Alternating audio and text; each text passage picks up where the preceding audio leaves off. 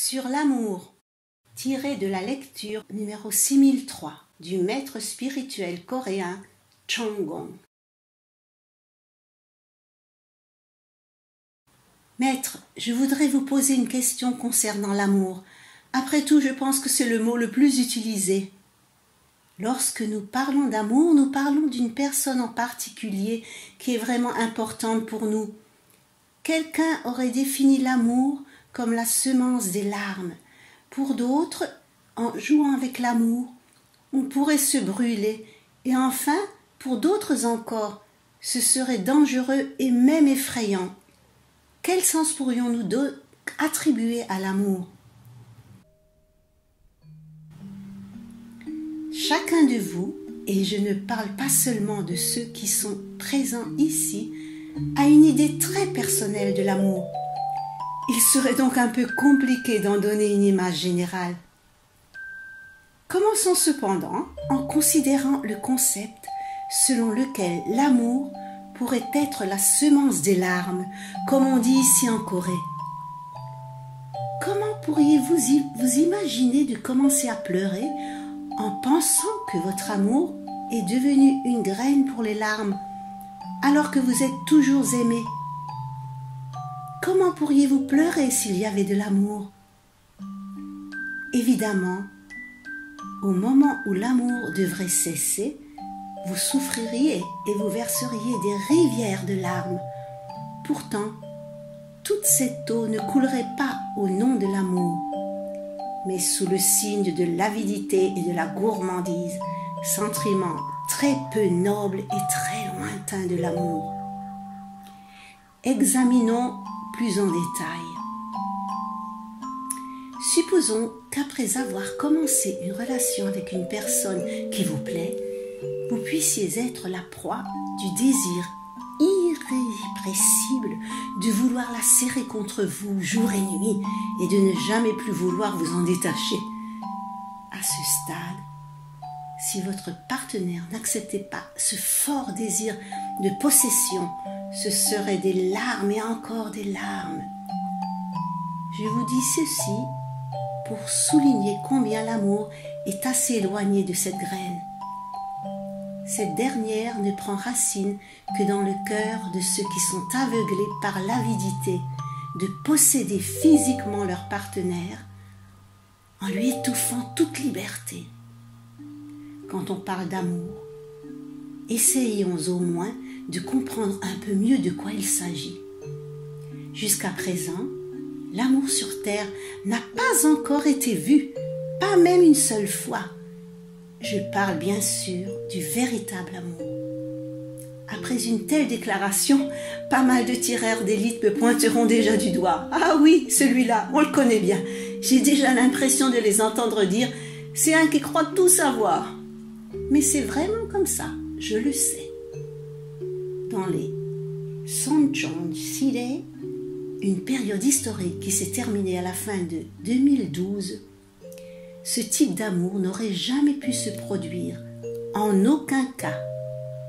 Au cours de ces années, en effet, les êtres humains ont essayé et essayé toutes sortes d'expériences avec plaisir, en s'aimant, en partant et en se retrouvant, et ils ont pu le faire pour pouvoir grandir.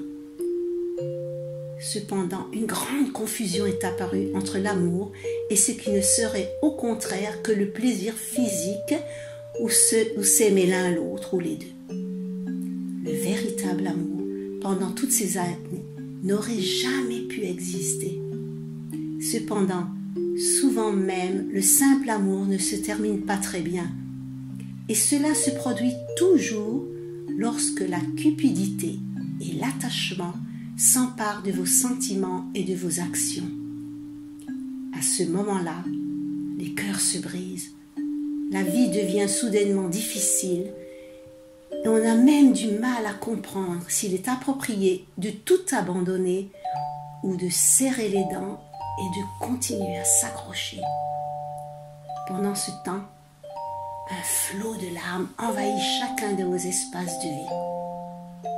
L'amour n'a rien à voir avec de tels scénarios. Ce n'est rien de tout cela. Alors, quand pourrions-nous parler d'amour? Maintenant, dans le Day, la période historique a commencé en 2013 et au cours de laquelle la société a pu atteindre son plus haut niveau de connaissance. La même âme, dans certains cas, a déjà pu rejoindre la plénitude totale de la qualité de l'énergie, Negong en coréen. Ce n'est qu'à une époque comme celle-ci qu'il pourrait y avoir de l'amour entre les gens pour être amoureux de quelqu'un, il faudrait travailler dur et bien se préparer, comme au bon temps de l'école, pour pouvoir obtenir directement de la nature une qualification spécifique, pratiquement un vrai diplôme.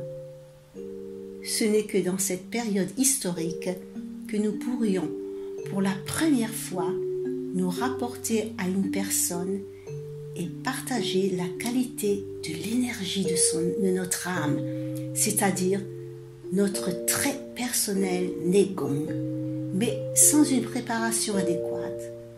Que pourrions-nous partager en réalité? Nous reviendrions à agir avec avidité, possession, tout comme au temps des Sonchon Shide, essayant seulement de sucer l'essence vitale de notre partenaire au lieu d'en partager sa joie et sa beauté. Et puis, n'oublions pas les enfants. Encore une fois, beaucoup diront immédiatement qu'ils aiment leurs enfants. Mais regardons de plus près avec un bref exemple. Il pourrait arriver, et beaucoup plus souvent qu'on ne le pense, que lorsque vous leur parlez, ils ne vous écoutent pas et vous pourriez prendre feu, crier, mais serait-ce toujours de l'amour? Cela ne ferait que souligner vos incapacités, vos lacunes et votre manque de préparation à leur égard. Il faut également savoir que la croissance et le parcours de vos enfants sont directement guidés par Mère Nature.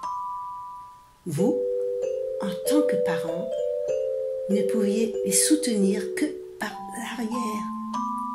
Mais si au contraire, vous vouliez vous imposer pour leur donner la direction qui vous plaît, ce serait un abus de position.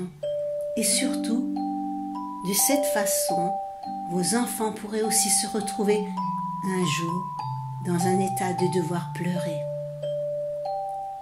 Il n'existe pas encore de livre de recettes qui suggère comment élever les enfants et aimer de façon cohérente, mais je vais essayer d'y remédier. Qu'est-ce que c'est vraiment l'amour? Ce n'est certainement pas quelque chose que nous pouvons faire, car cela ne peut que nous arriver. Nous allons y jeter un coup d'œil.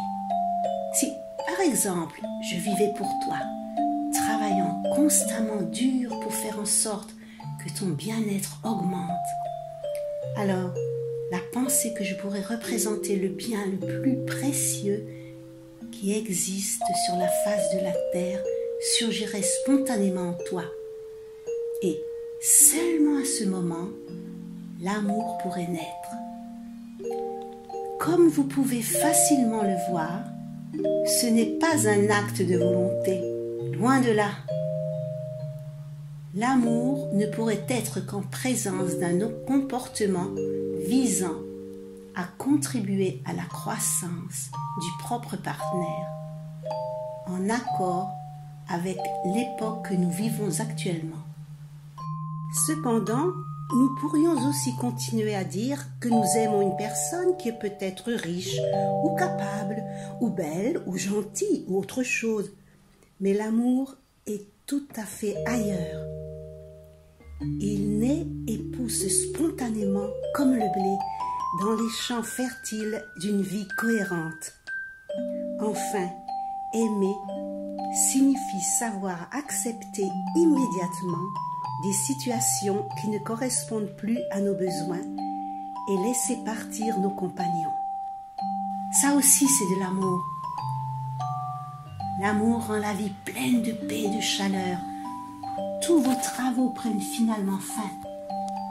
Cela n'a rien à voir avec la semence des larmes. mais c'est une lumière éblouissante qui illumine l'aube de notre vie à son matin.